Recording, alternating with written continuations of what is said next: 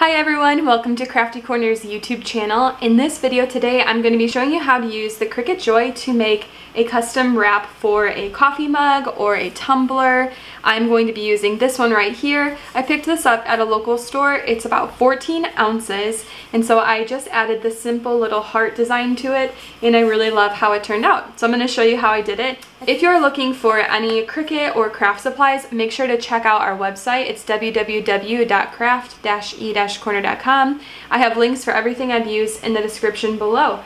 Other than that, we'll go ahead and get started in Design Space. Here's what my design looks like in Design Space. I'll walk you through how I made this design next, but for now I'm just going to hide it and we'll start from scratch.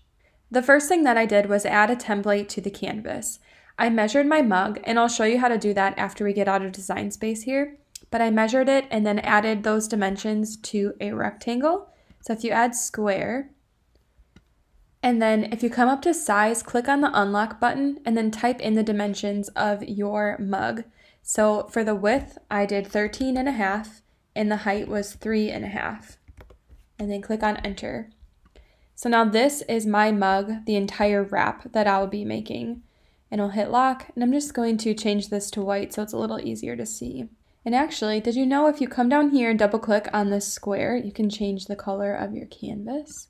So I'm going to do that just so it's, again, a little easier for me to see. Okay, so then from here, I went into the Cricut image library and I found a heart that I wanted to use. So click on images and I simply typed in heart and tons of different ones will come up. So you can search through and find a heart that you like. Um, if you want to see just the free hearts, you can come over to ownership and click on free. And then this way you can access all of these hearts without having to pay for a subscription. The one that I used, however, is a part of the subscription. If you have Cricut Access, it will be included.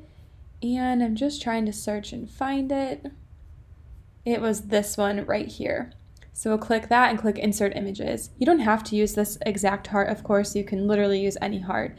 And actually, if you come over to shapes here, there is another heart here that you could use as well. So just wanted to show you some options for your heart. So then the next thing that I did was just size it down to about how big I wanted it to be on my mug. And then from here, I just literally filled this entire wrap with the hearts. So if you click this arrow in the top right hand corner, you can rotate it.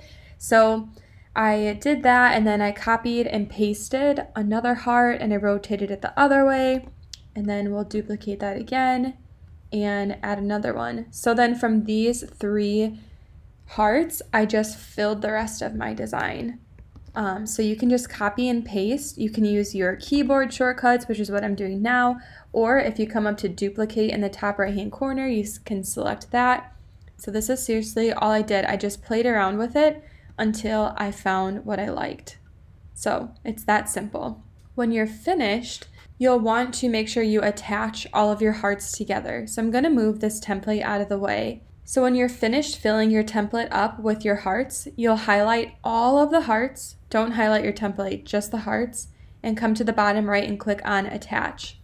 This way the Cricut will know exactly how to cut them as they are seen on the screen here.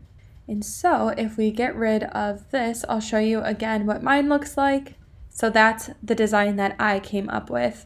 And as you can see, these are all attached together, as you can see over in the layers panel here. And then before you go to cut, make sure you hide the rectangle because we don't need to cut that. And then let's change our machine to the Cricut Joy and we'll click on Make It. Now I am using Cricut Vinyl, but it is not a smart vinyl, so we're gonna be cutting it on a mat. And we'll click on Done. So this will show you the size of vinyl that you need. So I'm going to cut some vinyl that's probably about three and a half inches by 12, maybe a little less. And then from here we can connect to our Joy and I'll choose the premium vinyl as my cutting setting.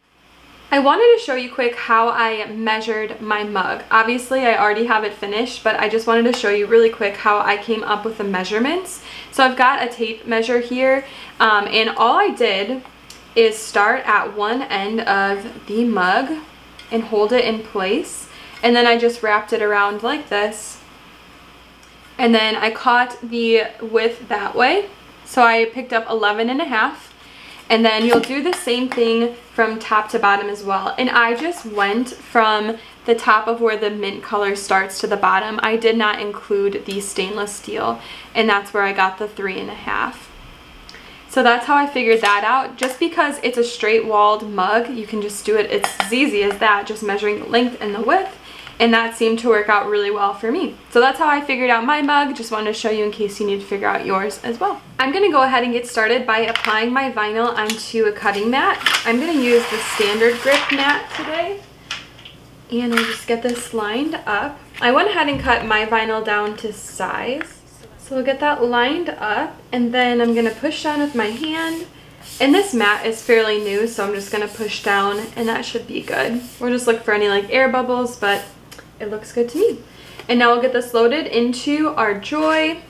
I went ahead and chose the premium vinyl as my cutting setting.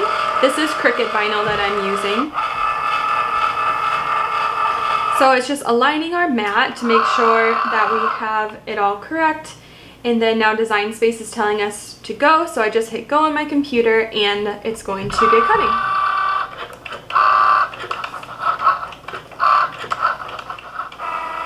So it's all finished, so we can hit unload in Design Space, and we are done cutting. So now to remove the material from the mat, I'm gonna flip the mat over and bend that back while I hold my material straight.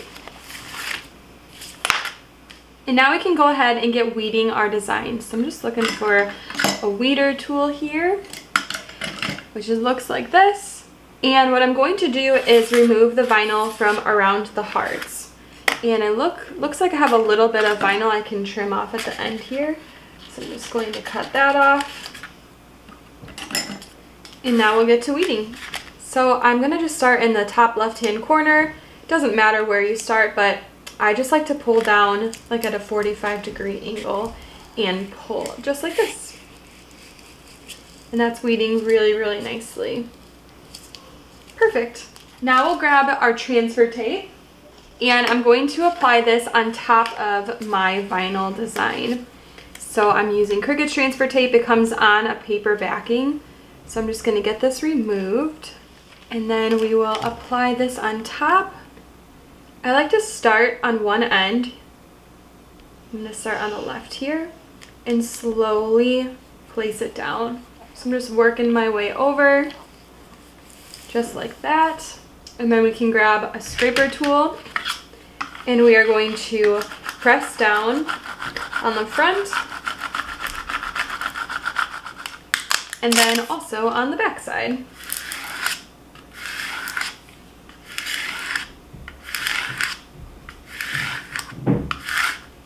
Okay, now before we remove our transfer tape, I'm actually going to cut around the design and I'm just doing this so that it's easier to apply onto our mug. So I'm just cutting and getting as close to the vinyl as I can. So it's cutting through the transfer tape and through the paper backing. And like I said, this is just going to make it a little easier to apply our vinyl onto the cup. Then when you're all finished with that, we'll remove the paper backing. Again, I like to just start in one of the corners and work my way down.